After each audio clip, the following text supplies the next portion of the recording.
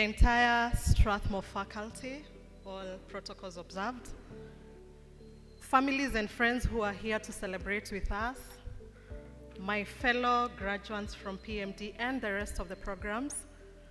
Good morning, everyone. As you've heard, I'm here on behalf of our president who was not able to make it. So the so-called written speech has been scribbled in the last five minutes. So in case I don't have it straight, I already have your forgiveness, right? Thank you.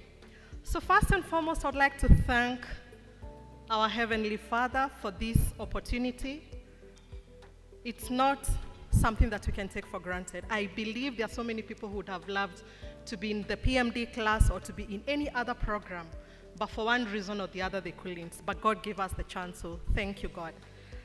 I would also like to thank our families and our friends, the support, because it takes a lot of uh, absentia from our normal life to dedicate and to be in the classes, regardless of the program. So we'd like to appreciate them. I'd also like to thank our unsung heroes. Many other times we jump up and down and celebrate and thank the faculty, and you do a good job. But we forget those that usher us in. We forget those that clean, us, clean up after us, both here at home and in the offices. They are our support system. So even, even if they're not here with us, we'd like to thank them. I'd also like to thank our faculty and specifically Dr. Ngowe and his team, who are the leaders of this program. To be honest, what we received, if we were to put a mathematical formula on it, outweighs even what we pay for. The knowledge, the tools and techniques, and even the strength that you encourage us to have. As PMD students, we are not really junior, but we are neither seniors. In the respective organizations you've served, as you've had, we've had promotions. Why? Because we were in levels that, for the, for the purposes of this speech, I would say they are mid-level management. And I have to say that this is the most difficult level to be in. Because you are not really the decision makers, you're the decision implementers. And in sometimes, you challenge these decisions, but you challenge them seated silently until you attend the PMD class. And you realize that those that are microwaved already and are in the front seat, where are you going to go? Because that's the farthest you can go. We who are behind are the people who are going to come in front. So we have to have the strength and the courage to not only make the right decisions, but to stand by them. And that has been hammered over and over again by Dr. Ngoe and his class. Thank you so much. To my fellow classmates, it's been a journey. It may be short, just a few months, because we started in February, but it's been a journey. And it's very evident how much we have evolved and, trans and transformed in the process of this course. I must mention some of them, such as getting to know each other, warming up, sharing ideas, the, the immersion that we did in South Africa. We learned a lot, not just in the corporate world, but in, even in the cultural immersion.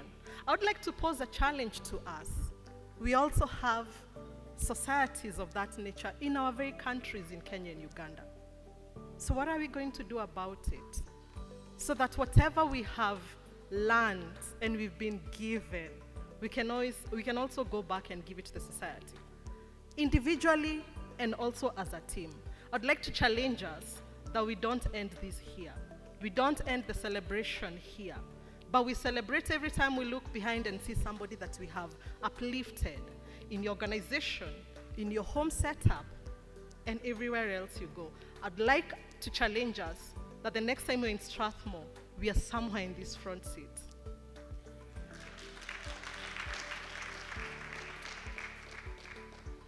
I met a very wise lady here at Strathmore. She was not a member of the faculty, and it is very unusual for me to just openly network, but I challenged myself. And she posed a challenge to me And it's good that we are headed to Christmas. We have a whole month of meditating upon it. So that when you're coming in 2023 and making your personal strategy, you may implement the three C's. And the three C's is what that you have to check yourself and make sure you don't do. The three C's are do not complain, do not criticize, and do not condemn. Why am I telling you this? I've listened to speaker after speaker after speaker. And every time they talk about the way the world is today, the global economy that is in crisis, the war in Ukraine, the hunger and the famine in our country, the broken system that we see in some sectors. And all I could hear, and I couldn't help it, is feel a little bit pressure. Because again, as a PMD graduate, I know I am at the entry level of senior management. So I couldn't help but feel a little bit of pressure because it is upon us to help and do whatever that we can. And let me tell you something, ladies and gentlemen, from the PMD class. We are at a, a point that our chances of failure are actually higher than success because we're in a very unprecedented era for our generations. The senior leaders are talking about calamities that may have been there before. We were only kids, if at all we existed. So this is our first area or our first era of facing this high kind of crisis. So I couldn't help but feel the pressure. And when I did a little bit of math, the odds are against us. But guess what? PMD course has given us what it takes to beat the odds and come out successful. In our own little ways, in our own little sections, it has given us that. So, using the three C's, when you're faced with those challenges, refrain from them and look, at, look for the opportunity around you to thrive and where you can't thrive, survive. And now, finally, to all graduates, the same wise lady told me that to whom much is given, much is expected. Receive the certificate and celebrate. Go celebrate. But remember, that information and knowledge is useless if it remains in that folder. Do something about it, and together we will thrive. We will be back after a number of generations, and we will be giving stories of the calamities that happened and that we conquered. Thank you, ladies and gentlemen.